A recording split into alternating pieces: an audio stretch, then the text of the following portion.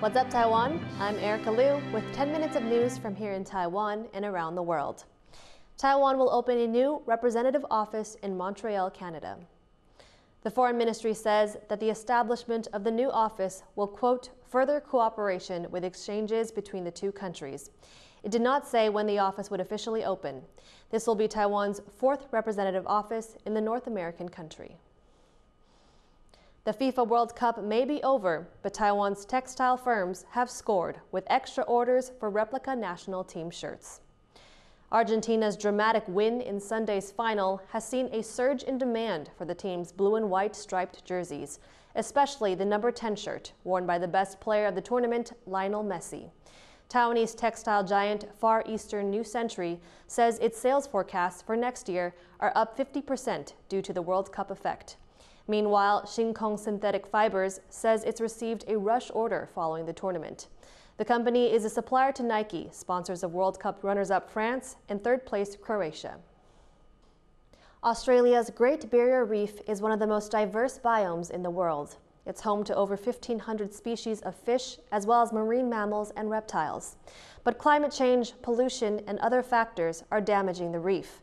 Now, a team of scientists are working to save it with new cryopreservation technology. Eric Gao reports.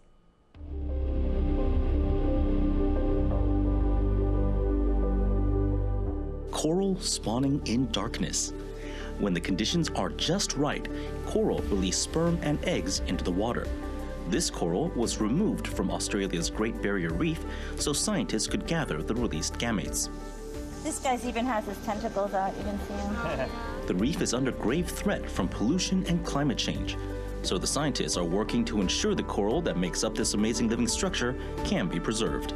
The corals have just started releasing their gamete bundles and so what they're doing at the moment is collecting them from the water surface with some pipettes and we're getting them at a certain ratio so the same amount of bundles as water in the tubes and so that will give us the right concentration for cryopreserving the sperm and assessing the motility.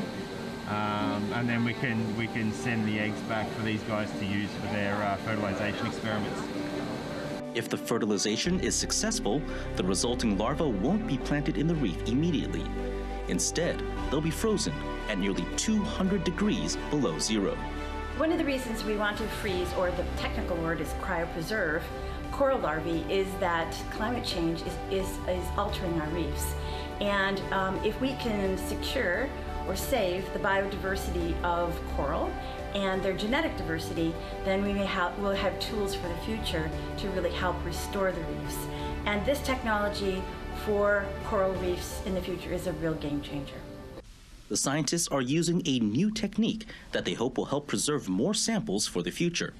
It's the first ever trial of this method on Great Barrier Reef coral. It's called modern mesh technology, and it allows you to freeze and thaw very rapidly. And um, if you weren't using this technology, you might have to use some very sophisticated tools like a laser or other things. But this is going to allow us to take this technology to the reef. And so the benefit of that is that we can do things faster and if you go fast, then you can actually get that biological system to avoid crystallizing in ice on the way down or on the way back. And you can actually successfully vitrify it, which then puts it into an indefinite storage mode. Cryopreservation is just one of many programs designed to save the Great Barrier Reef. Scientists are trying out different methods because they say time is running out as climate change continues to worsen. Uh, emissions reduction is absolutely critical, but we know that it's no longer enough to protect uh, our reef from the warming that's already locked in. So we know we have a 10-year window to really make a difference. And we need to accelerate and scale up solutions that help our reef adapt, resist and recover from the impacts of climate change. And that's where innovative projects like this come in. Scientists hope this technology can help them create millions of coral, which they can eventually use to repopulate the Great Barrier Reef. Eason Pan and Eric Gao for Taiwan Plus. A new kind of folding basket has been unveiled at a low temperature fruit and vegetable wholesaler in Taipei. The collapsible plastic crate, which costs about 65 US cents each, is part of a drive to improve the transportation of agricultural goods and reduce losses in the supply chain.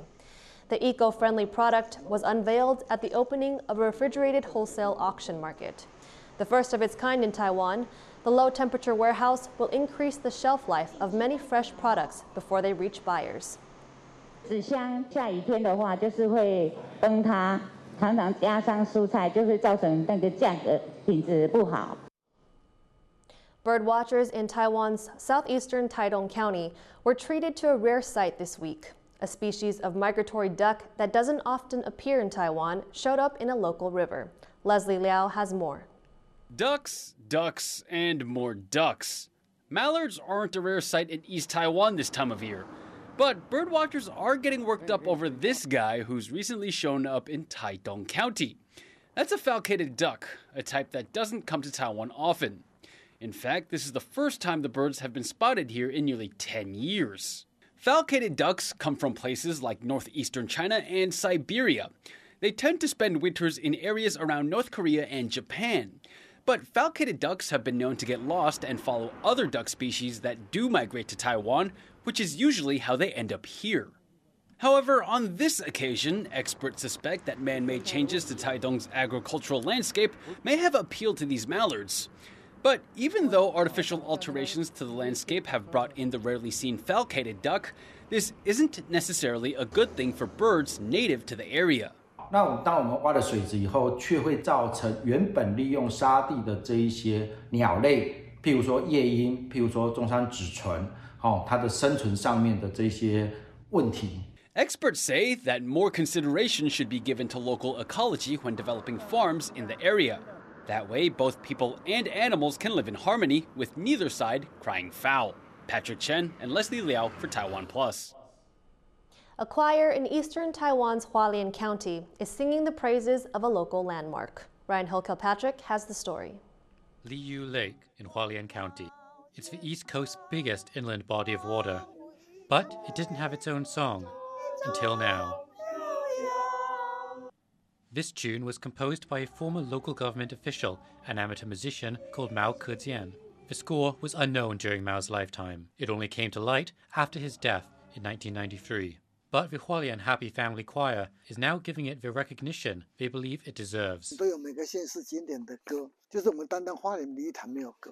希望借着这个 把梨坛的歌推销出去呢，呃，一个可以促进我们花莲的观光。Even the composer's son was in the dark about his father's song. 我以前都不晓得哦，我还觉得个人他的确能够把这个呃湖中的水波荡漾的那个呃情调啊，能够写出来，他的这个景色跟心情啊，能够融合在一起啊。It may have been an obscure tune up till now, but these singers hope it will soon be heard around the lake shore and the country. Ryan Hill Kilpatrick for Taiwan Plus. Taiwan's government is helping local performing arts groups keep their equipment safe. The Culture Ministry has launched a subsidy program for better storage and fire safety for theater troupe sets and props. This comes after the Paper Windmill Theater lost almost all of its equipment in a fire in 2020. The troupe suffered 1.6 million US dollars in losses and almost went under. The ministry hopes the subsidy program will help prevent similar accidents in the future. Theater groups say the subsidy will be a big help. 轮到这个悠人到我们这个问题其实很严重。它这个仓储这一步看起来是很小的一步，其实其实跨了一步很大的一步，就政府还有立法委员帮我们把这个东西变得比较完善。 Thank you for watching What's Up Taiwan. Remember to download the Taiwan Plus app for more stories from Taiwan and around the world. Finally, we leave you with images of Santa Claus floating above Jerusalem in a hot air balloon. I'm Erika Liu. Take care and see you next time.